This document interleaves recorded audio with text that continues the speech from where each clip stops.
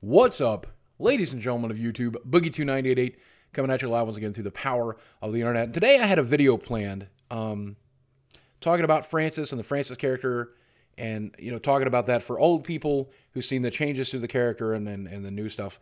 I'll probably make that video later in the week. But today I saw a video by Philip DeFranco uh, talking about a family here on YouTube. And actually, to be honest with you, I was clued in on that about, I think, Friday night uh, when that video first started circulating on Reddit. I'm not going to mention the name of the family because I don't want to lump into the situation. I don't want to add any extra bullshit or terror. But I thought this, instead of the usual stuff today, I would make a rambling video talking about what's going on there and talking about what's going on in my life and what has happened to me and draw some of the parallels because I can't speak for the kids in that family. I can't speak for that family. I, I'm not knowledgeable. I'm not there. I don't know. Um, what I can do is draw parallels to my own life and use the examples that I've experienced to to share with you and maybe influence the way you think about yourself or your life or the world or maybe even about this family a little bit. And so let's do that today. I'll, I'll use my rambling video for that. So if you're unfamiliar with the situation, go watch the DeFranco video if you'd like to. It uh, it's unmonetized, so don't worry, you're not helping anybody profit off of this stuff, which I I, I am absolutely against. Um, but you know, over the weekend we had that shooting the guy who broadcast himself live on Facebook. And it got me thinking about whether or not it's moral to give people the option to broadcast themselves, knowing that some people will do terrible stuff. Like the people on Facebook, should we give the ability to live stream on Facebook, knowing that some people are going to beat other people or shoot other people or murder other people? Is that moralistically the right decision? Here's what I can say I don't know if that's the right answer. Um, I think it's worth the trade off. I think you know, as an advocate against cyberbullying, I have often frequently said that I hate cyberbullying, but my ability to communicate with you and your ability to communicate with me is worth the price of me having to deal with cyberbullies and people who say mean things or do mean things to me using the internet. It is worth it because I can put a very positive message into your mind and you can put a very positive message into mine and we can share those positive messages throughout the world. And there's more positive than bad. So, yes, it's worth the price.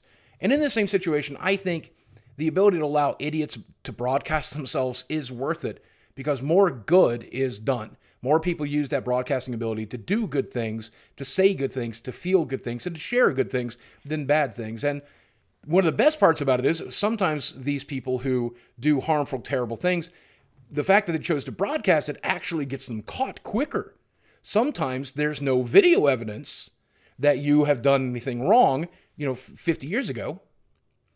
But now there's video evidence. You chose to broadcast it. Of course you're going to jail. Of course you're going to get caught. And that's a bonus. That's a great trade off, right? And it reminds me to when I was a kid how I was always desperate to own video cameras and, and audio equipment. And I always had a fascination with it. But one of the reasons I wanted that was to prove what was going on in our home because no one would ever believe me that I was being mentally or physically abused and I always wanted to find some way to capture that. And I got a few cameras growing up. You know, I got uh, a Polaroid camera when I was like 10 or 11. I got some audio cassette recorders, a, a boom box that could record audio. Uh, I eventually I went to Upward Bound and I got to try a video camera for the first time. Uh, and loved it. VHS recorder, you know, it was incredible. And that actually what, uh, is what eventually led to this. So something good came out of that desire. But one of the reasons is because I wanted to record what was going on in my life for my own sake, for my own sanity, maybe to show it to my mother or the people that were abusing me one day, or to show it to somebody outside of the family for help. Well, now, in some situations, you see people recording themselves doing stupid stuff. And that may or may not be happening with, with what's happening with this family. But basically, there's this family on YouTube that is filming themselves doing pranks on their family. And they're coming under fire because some of the language that they use and some of the tones that they use during these pranks are very reminiscent of violence. In fact, if you added some fist punches to some of the audio tracks that these families have, have, have recorded during pranks, it would be identical to what I grew up with. Identical. You know, and it, it's very reminiscent. It sounds very much like mental abuse.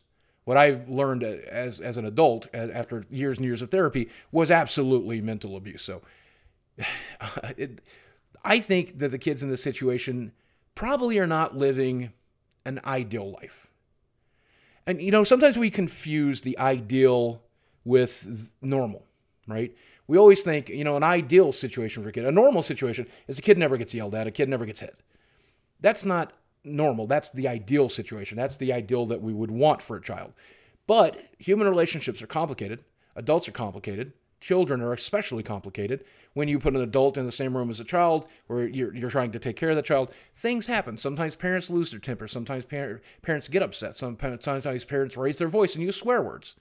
Unfortunately, sometimes parents also hit their kids, and that's why we have child protective services um, to investigate this kind of stuff and try to figure out if it's okay and if it's all right and if it's acceptable, whether or not it falls within the realms of normality. Um, but when I watch these videos, I see the youngest kid ex- exhibiting signs of anxiety and an anxiety disorder that's being created. He's saying things that are very typical of of someone who is developing an anxiety disorder and that really scares me because I worry about that. I that poor little kid had a few pounds to him, and I swear he would sound exactly like I did growing up. And you look at some of the other things that these kids are saying in these compilation videos. Um, at least we're not being hit. At least we're not getting beat like every other parent. A nine year old or 10 year old or 11 year old doesn't come up with that phrase himself. He gets told that by a parent and then parrots it. You know? Like a child doesn't think, well, everybody else is getting beat. How does a child know? How does a child know what's normal is? Because let me tell you something. When I was growing up and I was being beaten every day, I thought it was normal. One of the reasons I thought it was normal is because I would ask my abusers about it, who were my parental units, who I believed and trusted.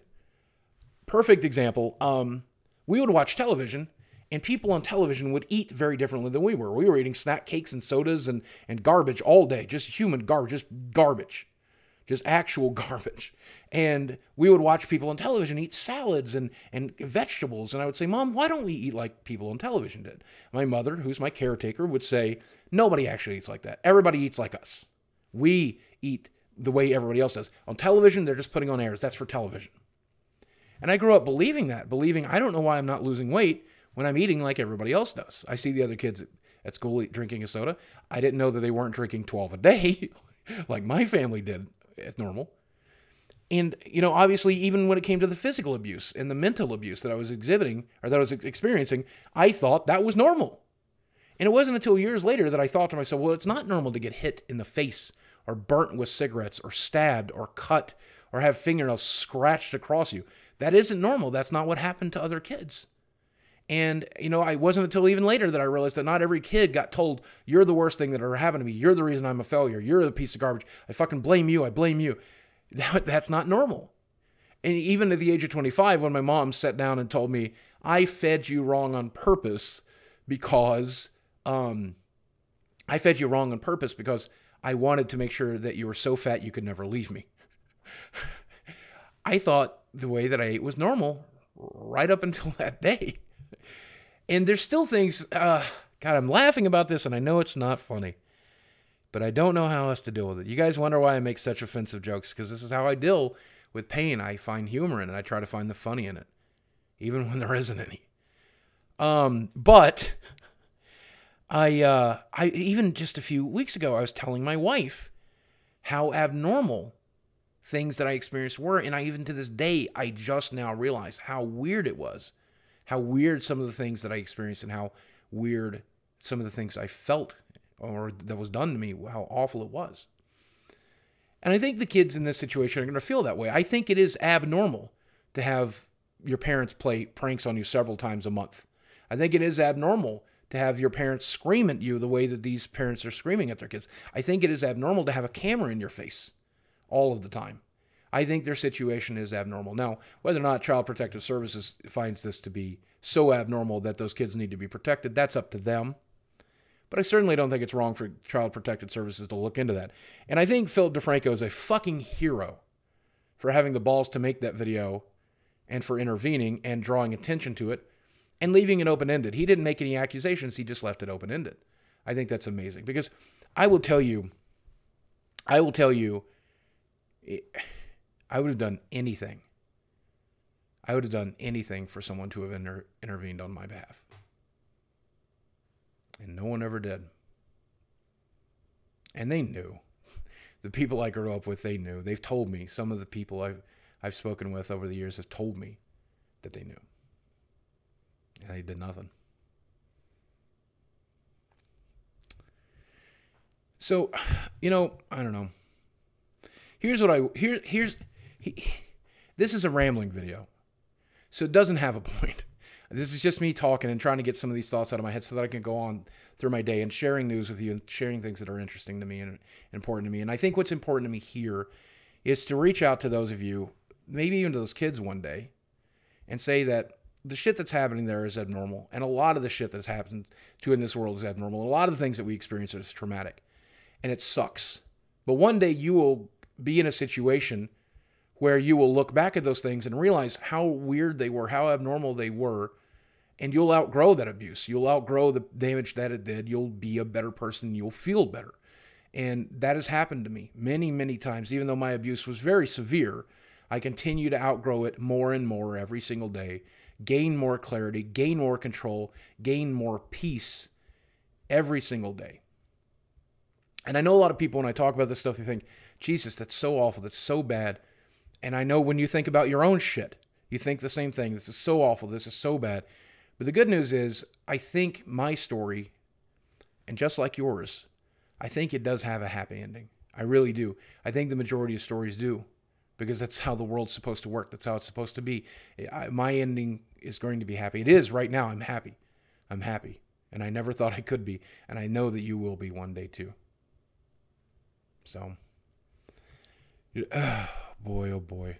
I don't know if I'm gonna upload this. I should have just made the Francis video. Uh, but here's here's what I would like you to do. Do me a favor. Let's let's this video is therapy for me, so let's have the comment section be therapy for everybody. Why don't you share what you went through in your life, even if it was normal, even if it was ideal? Tell me what you went through in your life because you know I never get upset when I hear that somebody had an ideal life. I'm happy for them. I want them to have that. It's what I want for everybody. I'd like to be the last person in the world that had a shitty childhood. I won't be, but it would be neat. So if you had a great life, if you had a happy life, if you had a miserable, and if you have some trauma that you want to talk about and share with us, know when I post one of these rambling videos, I read it all. I read it all. So do me a favor, get out there, get in the comment section, post a little bit, share that with me, and uh, and don't worry, I, I do truly believe your happy ending is coming. If I deserve a happy ending, if I'm getting one, you sure should do. Guys, I, I appreciate you watching. I love you very much. And I'll speak with you again soon.